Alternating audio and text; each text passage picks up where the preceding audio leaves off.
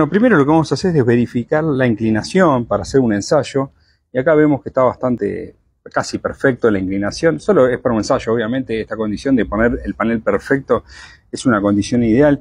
Y lo que vamos a hacer es probar a ver cuál sería el punto MPPT con el trazador de curvas, el experimento este que hicimos.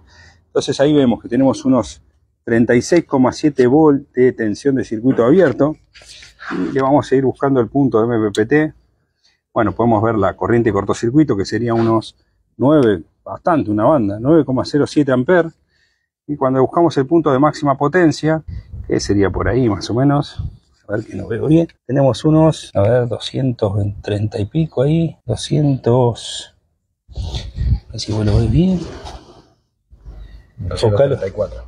234, ahí lo corro por acá.